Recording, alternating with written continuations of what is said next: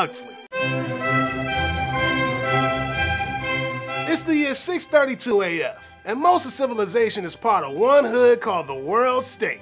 Up in here, technology making it so that humans pop off assembly lines and be brainwashed to value nothing but what the government tells them. Constant happiness, consumption, and banging group orgies. Woo! Wait. And if you still ain't feeling fly, just throw back a little Soma and you get so iced out that you ain't got no worries. So some high class pusher named Bernard Marx started thinking that unlike the rest of them Soma slamming zombies, he's a trail ass individual who curious about what life on the outside be like. So Bernard hollers at some choice honey named Lenina and asks if she wanna roll with him to the Savage Reservation where peeps be living old school. Lenina holler back but she acting suspicious about this player since he don't like to pop pills and get dirty like she do. When Bernard and Lenina land at the Savage Reservation, they peep some gnarly beezy named Linda and her boy John, who be called the Savage. Even though John and Linda been living a low life, Linda schooled John on how to read, making him a top shelf savage.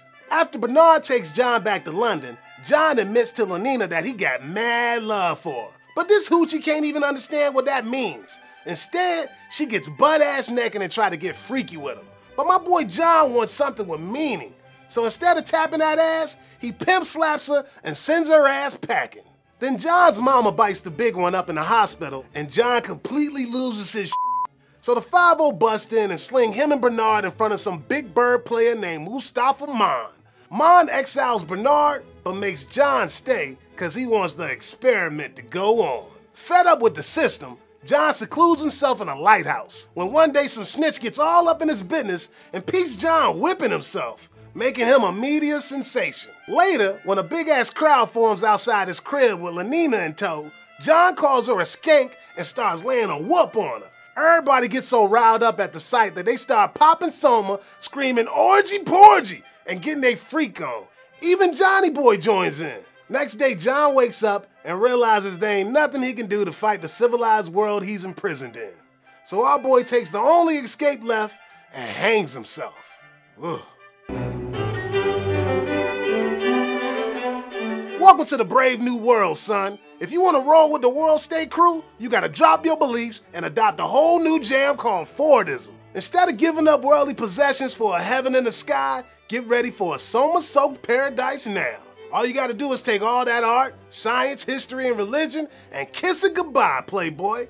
My man Karl Marx once said that religion is the opiate of the masses, but Huxley gone and flipped that idea on his head and made opium, aka Soma, the people's religion. And this shit right here is so dank that it also offers hope, consolation, and reassurance. Just like religion, except better, cause you ain't even gotta do nothing. Just like Mustapha Mond say, Soma is Christianity without tears. Now open up your ears and soak this game up, B. In a place like the world state, where the motto is community, identity, and stability, there ain't nothing more dangerous than a G flying solo. Cause when you on your own, you ain't got nobody to put your strongest emotions in check. With all your love directed at only one thing, you end up unstable, miserable, and wanting to take yourself out of the game for good. Now I mean? That's why the world stay throwing all those swanky sax parties, so you can get all that excess emotion out on the red. Don't believe me? Just look how unstable Johnny Boy be when he on the reservation. He even shanks one of his mama's lovers. And it don't get no better in the civilized world. When Lenina's standing butt naked in front of him, he roughs her up, calls her a hoe, and threatens to waste her ass. Maybe there's a good reason they call him a savage. And with all that excessive emotion building up, it's no wonder that this fool ices himself. Looks like Mustapha Mond's experiment went exactly as he expected. Hey, thanks for keeping it real with Thug Notes.